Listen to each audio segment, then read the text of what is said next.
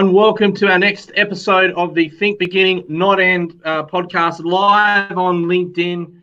So great to see you guys. Um, just to get a few things off the top, we've got an amazing guest today, and in fact, it's going to be part of an 11 uh, series episode with none other than John Lees. So guys didn't see John on the first episode, I want to go and watch that one again. You can see it um, up there in my profile on LinkedIn. You can simply click on it and um, and have a look at that. Or you can go to the YouTube channel as well. This is cast live across uh, LinkedIn, YouTube, and uh, and also Facebook. Um, guys, just to remember, the LinkedIn platform is still in the testing phase, so there may be a few technical um, problems that we might have. Um, so far, so good. If there's any issues with the volume um, or the audio, please let me know and just so you guys know, during the broadcast, I do um, engage with you guys in the comments over here, particularly on LinkedIn. I will check Facebook and um, and YouTube as well. So um, I will be occasionally looking that way and uh, and engaging you guys on the comments. So first of all, thanks Carol for tuning in. I know it's 2 a.m. in the morning over there, and um, thank you so much for tuning in as always. Great to see you there. Thank you so much, Penny. Penny's joined us from Melbourne. Awesome to see you. Now, guys, without further ado, I want to introduce you again to John Lees. Now, uh, John and I have agreed to do an entire series for you guys. This is going to help everyone out there. It doesn't matter if you're in business, you're in a sales role. It doesn't matter what your role is. This is going to help everyone. Um, hey, hey, Jenny, nice to see you on the Melbourne too. Great to see you. So, the 11 part series um, is going to start today with John. Um, the first episode is sell pleasure first, products and prices last. I'm going to bring John in the broadcast now. Um, so just give me a second as I get this right and I add John in down the bottom here. Um, it's really a great honor and privilege to have John. As some of you guys uh, might be aware, um, it, uh, I started listening to John's cassette tapes many, many years ago, almost, um, I think it was um, at least uh, years ago. and we had a bit of a joke about that in the first episode, but I'm just bringing John in now. So sorry if I had a bit of a stutter there, guys. You should have uh, John up on screen now. Hey, John, so nice to have you on. Thank you so much for tuning in um, from California and joining us today. Thank you, Simon. I appreciate it. Um, so, John, um, again, for everyone who um, didn't get to see in the first episode, um, for those that don't know you, um, you know, you're an author of 13 books, among many, many other things. Um, John, can you give everyone a bit of background about yourself again, very, very quickly before we jump into today's topic? Sure. I, um, you know, started off um, as a young guy in my mid-teens in the UK, working for my father, who was the manager of a shoe store, and it was very, very nice to have people come in and looking for help. And then at the age of 19, I became a sales rep for a multinational organization, and not one customer wanted to talk to me. So that was a, a hell of a wake up call and a scare. Um, and I really thought maybe I've got into the wrong kind of job, but I got educated not by management, unfortunately, because our senior managers at that time were all junior leaders. Um, and so uh, I, I was educated, if you like, by discerning customers. They told me what mattered to them the most, and that was the start for me. So I became um, a senior senior uh, rep, a major account rep. Then my wife and I went to Australia to follow the family, and uh, started with the same company again as a sales rep. Became sales manager. Um, and then eventually I was asked to join the Schwarzkopf organization, German organization that at that time had uh, we're up against giants L'Oreal, Wella, fabulous companies. And uh, they were number one and number two, and I think we were like number four or five. Uh, and within about five years, we became number one, um, simply because uh, we found out by meeting regularly with our customers, salon owners, some small, some large, etc., um, where their real needs were. And their real need wasn't for getting supply of product; they could get that from anyone you got one of the major suppliers shut down mm. all of a sudden, uh, they just go someplace else. Um, their real need was getting help with business. And that's when I first started going beyond my role at Schwarzkopf. In fact, I resigned my role as marketing and sales director, became a consultant for the organization, and then Mr. Schwarzkopf um, in Germany invited me to become a global consultant for the company, working in the United States, Canada, Western Europe, the UK, South Africa, etc., uh, which I very much enjoyed. And then I went into my own business, uh, writing and speaking at conferences and doing training for organizations. And uh, I'm still doing quite a bit of training, mostly by Skype or Zoom. Uh, very much enjoy it still. And um, I hope everyone today enjoys what we're going to talk about. Absolutely, John, and I'm sure they are. I'm just going to take another quick moment here just to quickly acknowledge some of the guys that have joined us here, uh, particularly just on the LinkedIn feed. And when John gets talking, just so you guys know, if I'm looking this way, I'm trying to um, gauge you guys. So please make sure if you've got a question, throw it in there. I'll try and get that question to John as we go. Um, but again, uh, just very, very quickly, um, thank you, Gail Jackman, for joining from Adelaide. That's really cool. Thank you, Jenny um, a couple of tech issues Jenny's just said there, and uh, Deanne uh, from Albury in uh, New South Wales as well. So, John, um, what's the topic we're going to cover today? And then I'm going to take myself and pop myself up, in the other corner there. I'm going to hand it over to you. Um, everyone out there, this is some massive value in this, particularly in the current market and the current climate we find. That's one of the reasons. Um, you know, John and I wanted to present this on a weekly basis for you guys. So, John, I'm going to hand it over to you. I'll change the screen in a second. Um, and if you can give everyone a rundown on the topic we're going to cover today and then jump into it, straight into it for everyone. Okay, well, it's based on a book that I wrote years ago called Pleasure First Price Last. And uh, by the way, the people watching can get a copy of this, free copy of this. Um, all they have to do is send me an email. I'll give them the email address at the end. And I can send you a PDF version of this particular book. Sell Pleasure First Price Last well, just think about a book. What is the attraction of a book? Is it the front cover or the back cover? The back cover describes the book and shows the price, but the front cover is the promise of satisfaction and interest to people. I don't know about you, but I've never been into a bookshop mm. and hmm. said, Have you got any $10 thrillers? Um, I'm mostly interested in what's in it for me. So today we're going to talk about how to win business and how to keep an increasing business uh, with customers and also, of course, with prospects. And most of what I'm going to talk about is covered in the book. So I hope people find that to be of help. So you ready? John, that sounds great. Oh, yeah, let's let's get straight into this. I'm I'm um, you know one of the great things about this, and it's one of the reasons I, I like doing this. Just for out there, as you guys are learning from John, so am I. So it's an absolute privilege to get someone on like John and um, you know, I'm learning at the same time as you guys. So let's get straight into it, John. And just again, guys, I'm looking to the right. I am engaging some comments. Throw a few questions at John when we can. Over to you, John. Thank you. Well, first of all, thank you, Simon, for coming up with this idea. It was your idea. You've made it happen. And I'm very grateful. And I'm sure the people watching appreciate that as well. Um, I hope everyone's well, um, despite all the problems that are going on around the world. Um, the only problem I had today is that I had an argument with my wife. Um, I simply said to her, I think we should fire our pool guy. And she said, You know what your problem is? You're getting older, you're getting senile, and you feel threatened by the presence of virile young men. That was what she said. What I said was, We don't have a pool. Um, just so that she understood where I'm coming from. So uh, let's get started. Um, First of all, we are going to uh, talk about um, the uh, situation behind the scenes. So here we have our customers. And uh, ordinarily we would maybe call them A, B, and C. A terrible mistake that's made by lots of organizations, and the mistake had been made at Schwarzkopf when I arrived, so I had to change it pretty quickly, is that they considered A customers to be the ones that bought the most.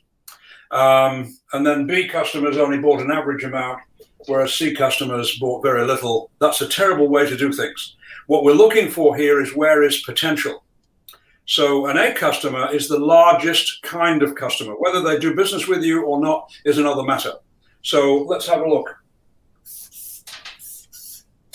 Okay, there's an A customer there's a B customer, there's a C customer. And I hope you can see that they have uh, a greater capacity for buying and using or reselling products. Theirs is also pretty good, but not as much as this. and here it's pretty small. Sometimes you find these people moving up the scale and so forth, but um, this is how we should be doing it. This is an A customer, this is a B customer, this is a C customer, and if we were starting business together today, um, we couldn't judge people on how much they buy. We'd have to judge them on their potential. Okay, so so uh, number one, A equals large, B equals medium sized business, C equals small. Okay, and then we have a second rating. And the second rating is one, two, and three. One is a very good customer. So they buy quite a lot from us. We do good business with them.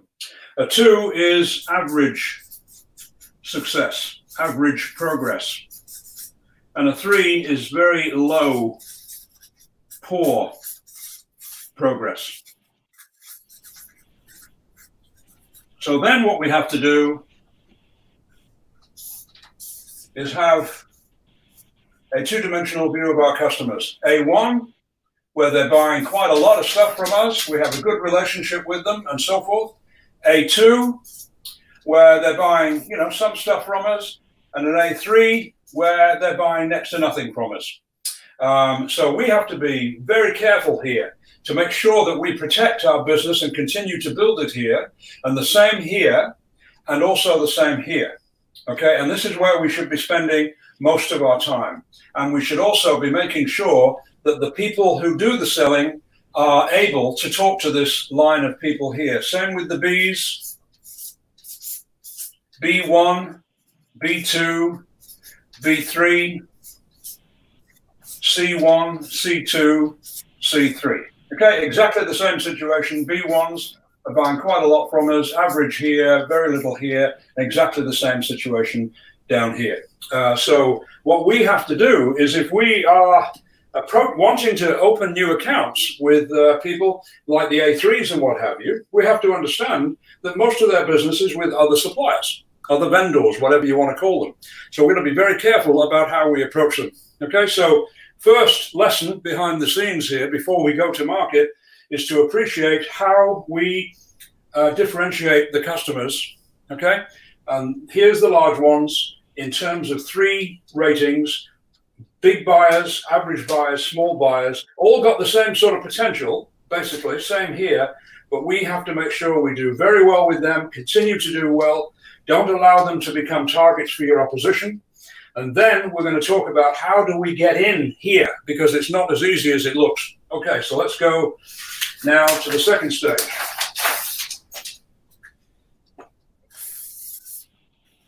Here's the market and all the money being spent. And why John just I beg your pardon? Just jumping in, John. Um, if anyone's got any questions, please leave them in the comments here, and I'll, I'll try and ask John any questions as we go without interrupting too much. So just be aware, guys, if you've got a question, just throw it in there. We want to help you guys as much as we can. So sorry, John, back over to you. Uh, no problem. Okay, thank you. So here's the marketplace and the amount of money being spent on products or services um, and it doesn't matter if you're retail or if you are a supplier of goods to uh, the marketplace generally. Here's the dollars. Here are the suppliers. And you can bet your life that most of them have a fixation on trying to get a share of the business out there. Okay? Uh, very bad idea. Obviously, I know you want to get business out of here, but then we have to look at the larger picture. Okay, and the larger picture suggests that there's enormous amounts of potential. And if you watch the first um, session that uh, Simon organized, we talked about the first gap, which is contesting in this area here, which is extremely difficult. When I started as a rep, uh, nobody wanted to talk to me because they already had the products that they required. It was very, very difficult. And that's why I said discerning customers basically explained to me this is where we want you to help us. The word potential is built on the word potent, latent power waiting to be released. And that's what we've got to learn to do. Okay? We can't mess around with interfering down here. Uh, that's just a damn nuisance to people. What we've got to do is aim ourselves into this area here So let's get talking about how do we do that. The first thing I'm going to show you is what I call code 213. It's just something for management and sales staff to remember. So here we go. Here's the market. the market has to buy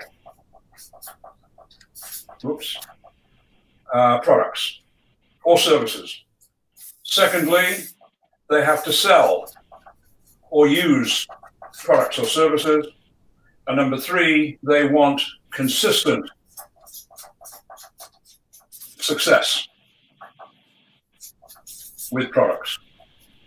That's their ultimate aim. They're not looking for something that's uh, a five minute wonder. This is the situation for them. So now we take a look, thanks to Simon, we can take a large look now at the marketplace.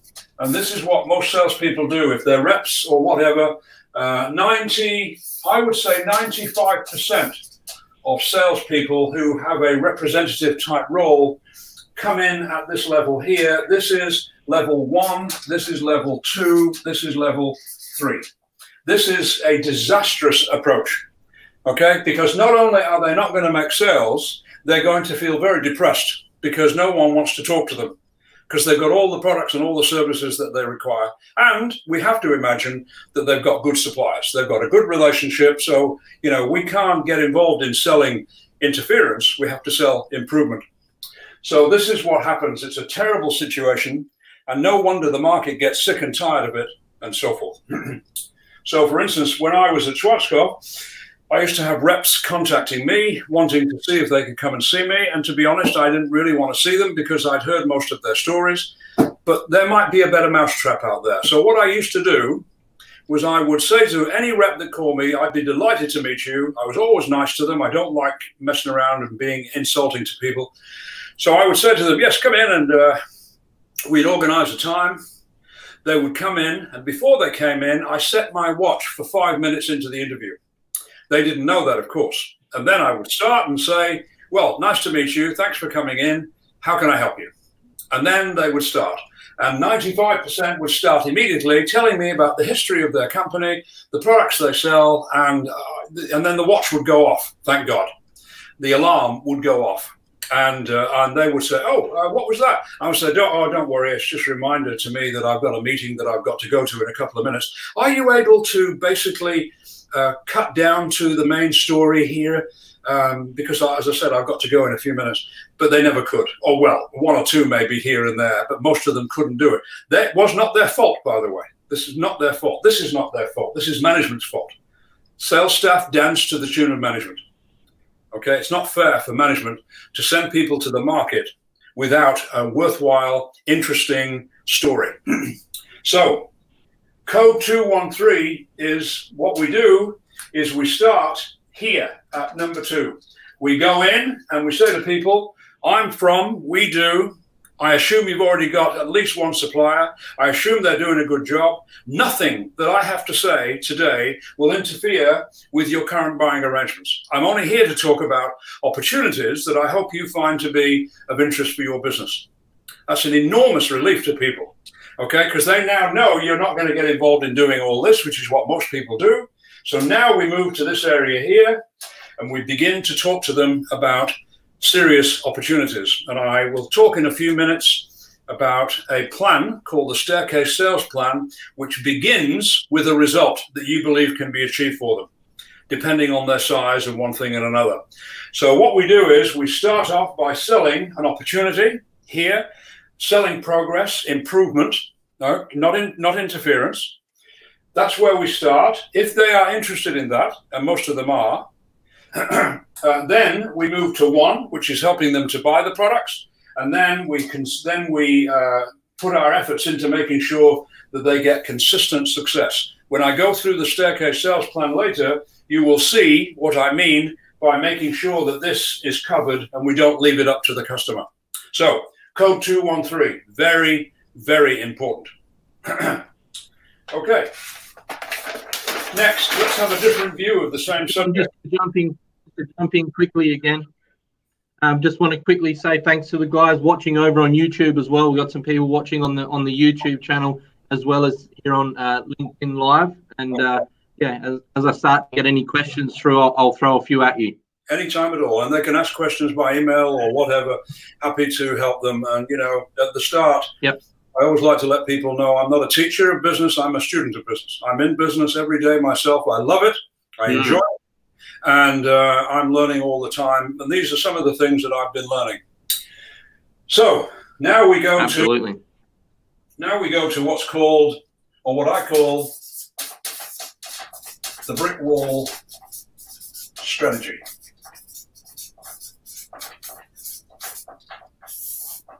So here now is our view of the marketplace, or a customer, or a prospect.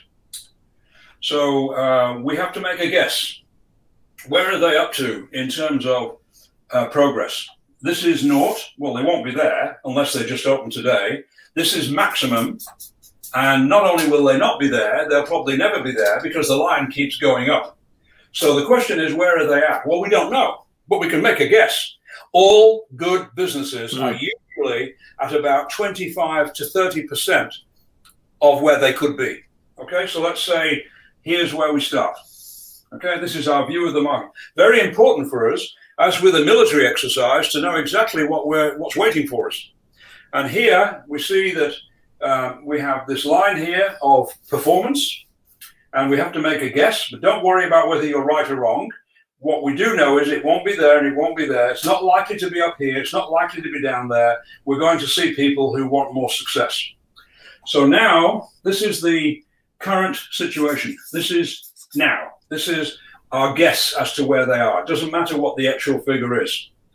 Then we make this and we make it look like a brick wall. Okay, now this wall has already been built. And if it's a prospect, it's already been built by someone else, by another company or a set of companies that they do business with. Okay? So, very important for us to understand that when we go to see people, the first thing we do is acknowledge this here. Okay? We do not attack under any circumstances. We let them know, as I said with code 213, that I assume you've got good suppliers, uh, reliable suppliers, and um, and that I am also interested to know if you're obviously interested in progress, etc. Most uh, good companies are. So what I'm here to talk about is this area here. This is the area of potential. And so our story begins. And I'll come back in a minute to what the story is all about, or should be all about. Okay, and we aim our idea into this area here, not to fill this area, but to perhaps get this amount of business here. And if we do that, then we're doing a damn good job. Okay, remember, we're not interfering with the status quo. Okay, so this is our part of the brick wall. And now we're in the customer's business. And once we're in the customer's business, we have two distinct opportunities. Here's the first opportunity. Number one, we can go further into this area here on a continuous basis. And number two, we can attack the status quo. You can only attack from the inside, not from the outside. Okay, so the brick wall strategy, which is mentioned in this book, makes it clear as to what our aim should be. Now, what you're probably thinking is, well, what are we selling? How can we sell a good idea to people? well, here's what we do. We get involved in what's called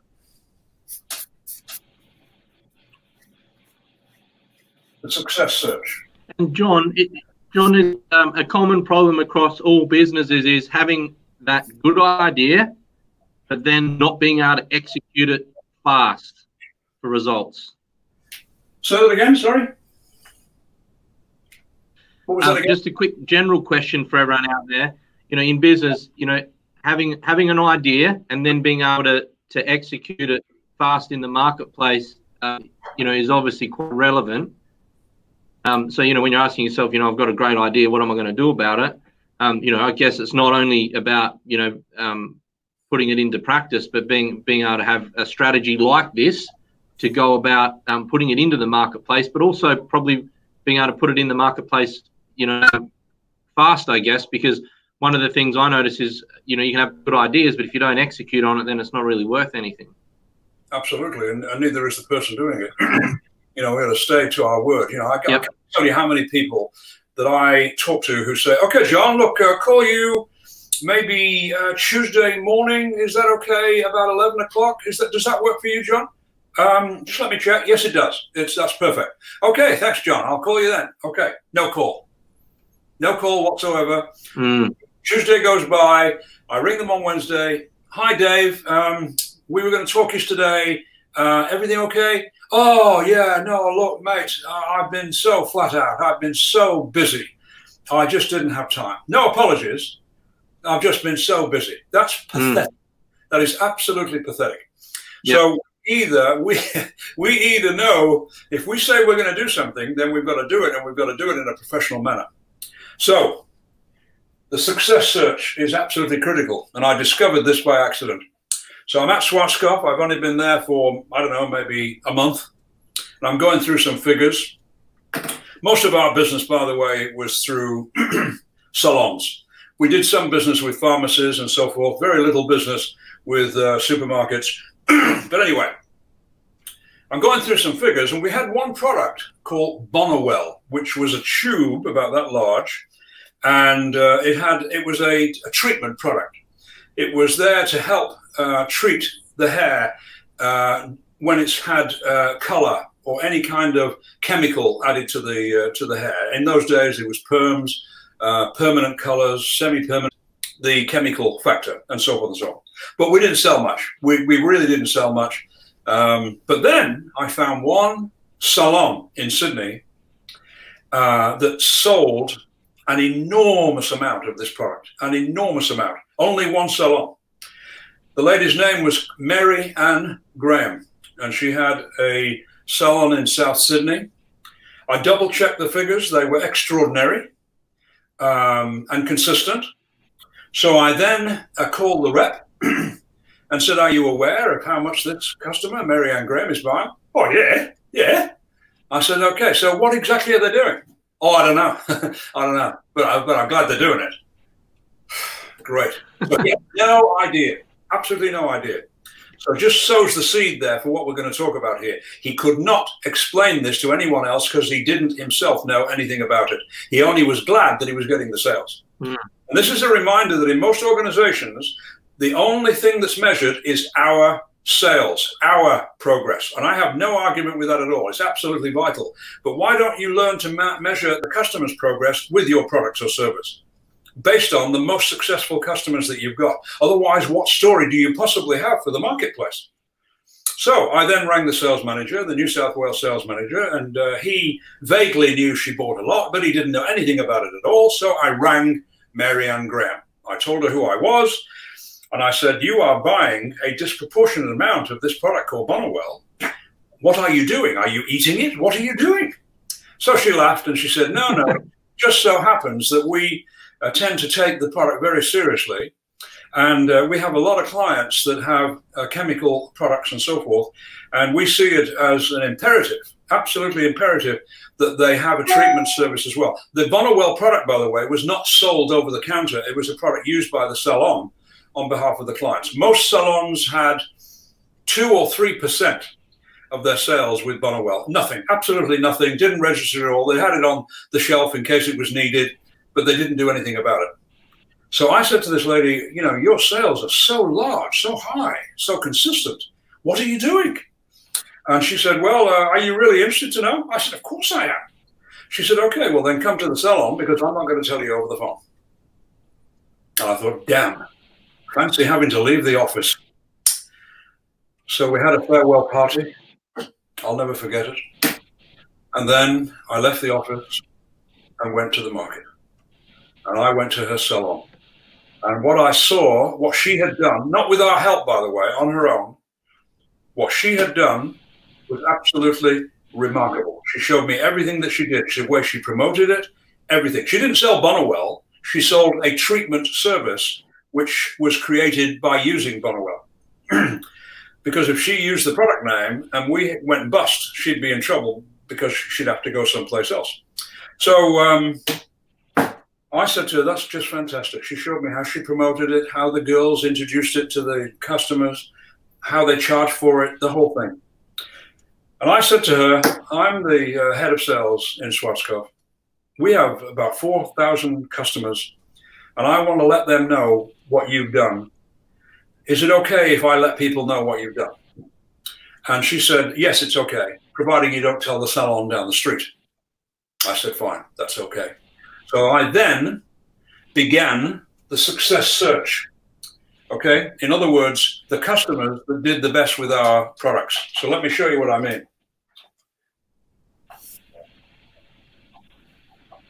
So um, we've got product A, let's say. In this case, it was Bonawell. Then we go to the market and we study the market. And the market has very average purchases, which means very average sales. And then there are you know, a few that are a little bit better and so forth. And then just, just here and there, as with Mary-Ann Graham, bang, very high level success, very high level success, incredible success. And, you know, you'd find others as well that also had high level success, but not quite as high as hers. Now, what am I supposed to do with this information? I'm going to share it in a responsible manner with our customers. I'm going to arm our salespeople with the story. And the story consisted, the success search consisted of four factors, and here they are. Number one, the result. That's what people are interested in. Okay, the result. And uh, you, you mentioned the result that Mary-Ann Graham was getting, and they would be absolutely shocked and amazed and, um, you know, incredible. We didn't expect, by the way, other salons to have the same figures as she did, but we did expect that they would improve what they were doing with our help because now the reps are not simply selling a product, as were our competitors. We're now selling a formula.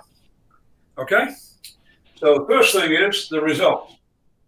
So remember that when we talk about the staircase sales plan. Number two, the motivation. Why did she get so involved with the product?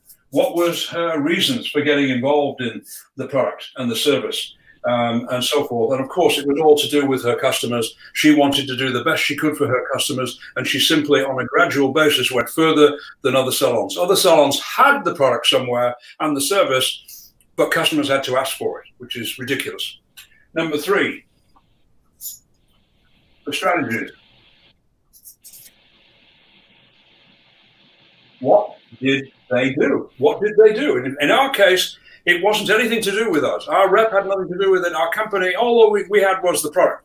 And she then backed up the product by being serious. She got excellent results. That, of course, is the final factor. She was very motivated to help her customers. Without that, you've got nothing, by the way. Um, and then she started to introduce strategies and continuously improve those strategies. And then number four are the lessons that are learned by the customer and also by the organization. So what we then did is we, we introduced the success search as a key part of our business. Again, in a responsible, honest way, we went looking for the people, the customers who had the highest level of success with our product. That's, by the way, what happens with our kids when they want to get involved in sport. What are we supposed to do? Give them a lecture or show them films of the best athletes in the world, the best football players in the world, the best cricket player, whatever it happens to be, you know, they want to know about that. We don't always expect that they will get to that point, but they need this as inspiration and motivation to do better. They have evidence that it can be done. Okay, and that's what we got involved in. We got involved in the success search. so, uh, again, this is mentioned uh, here. And the success search then means that when you go to market, at level, um, remember I mentioned that you have the market here, One, two, three. What we do now is we start here. That's where we start. Um, after having acknowledged that they've already got suppliers and we're not there to interrupt or interfere with anything that they do. Okay, so the first thing is here's the staircase plan. Number one, the result to be aimed for, the goal. And of course, we have to work out that goal relative to the size of the business that we're talking to. It's not a complicated deal. But Marianne Graham had a smallish salon, but she had big ideas and she used them intelligently. If we went to other salons that were smaller, we'd have to reduce the amount and so forth. And by the way, we didn't promise people when talking to them about the result the kind of result she was getting. We were only talking about progress. So here's the result. Here are the plans. Okay. This is what we're going to do to really keep. Sorry. Re, re, um, just picking up on the key point there, um, uh, John is you know over promising on the result there. It's it's it's a really big um, you know a big key point for people to understand at the very start, right? I mean, I, I know I've been guilty of it myself at times. Is you can over promise at the start, and then you're you're only setting up yourself for failure in the future by doing that. So um, you know, um, I'm glad you glad you made that point that you know the the results that you're talking about are not comparing to what exactly what the other lady got, but certainly you know the results of progress. The results of progress, and also the the, the nature and size of their business.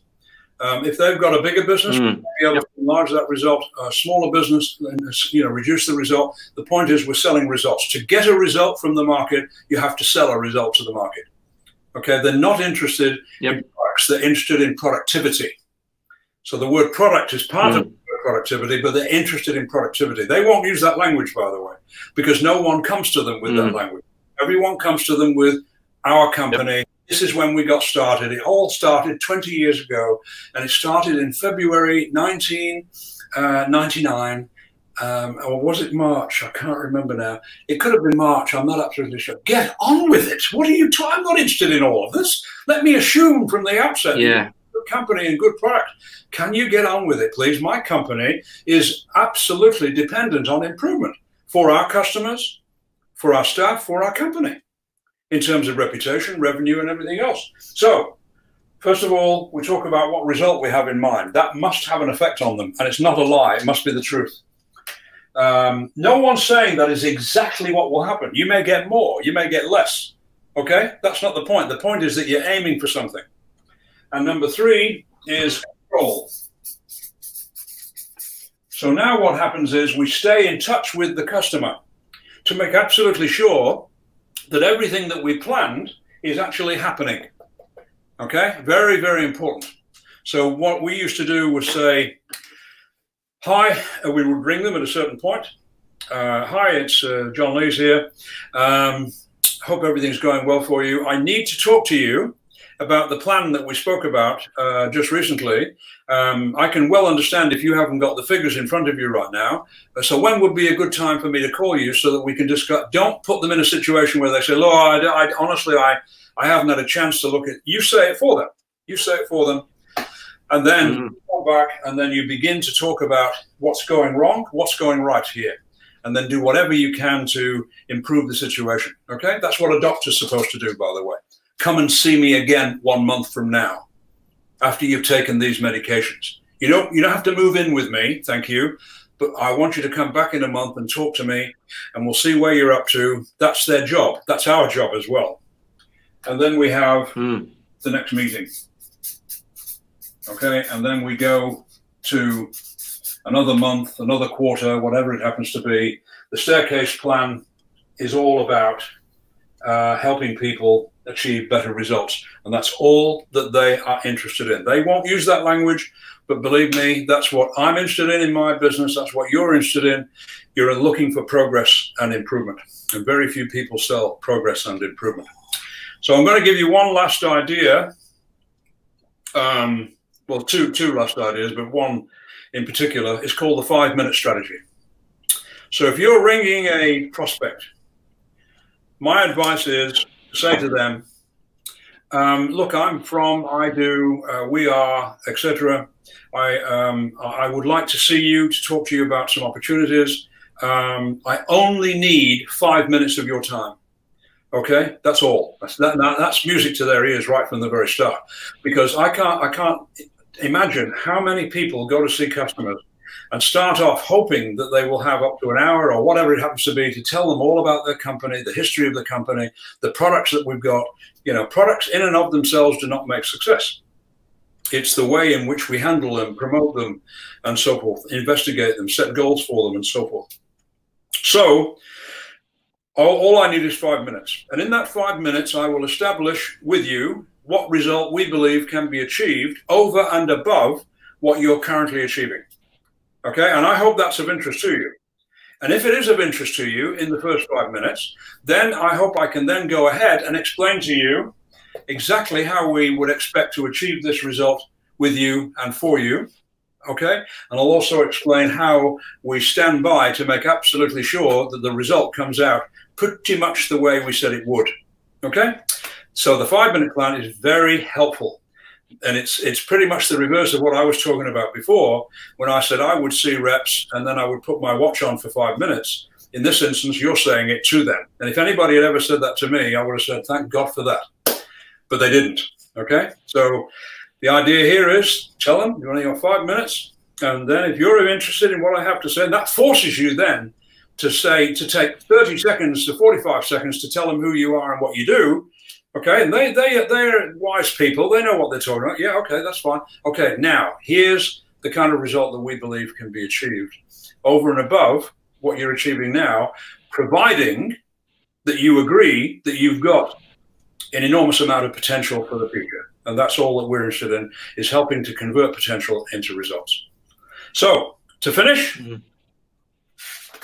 and as I said, any questions about any of this, just get in touch with me by email or ask Simon questions right now and so forth.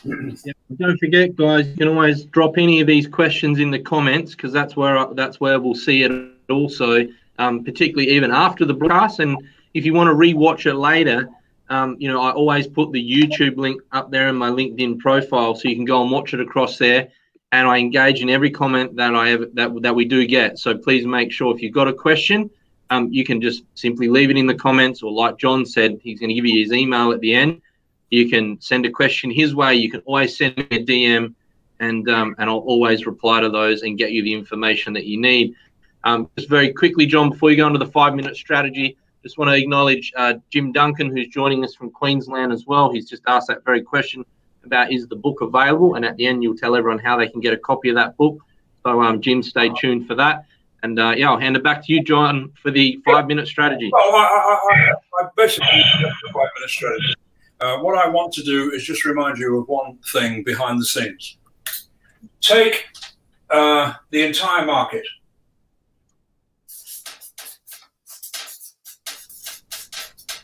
The entire market. There it is. Okay. Let us assume, because we don't know, let's assume that um, 50% are doing okay. Uh, by okay, um, I mean that they're above where they wanted or expected to be. They're exactly where they wanted to be, or they're well ahead of where they wanted to be. Okay, 50% are doing well. And then we've got 50% that are not doing so well, not doing what they wanted to do. They're not reaching their plan. They're, they're just a little under their plan. They're well under their plan. Whatever it happens to be, 50% are doing okay, 50% are not doing okay. Here's my question how many of these people here and how many of these people here want to improve their current position? Everyone.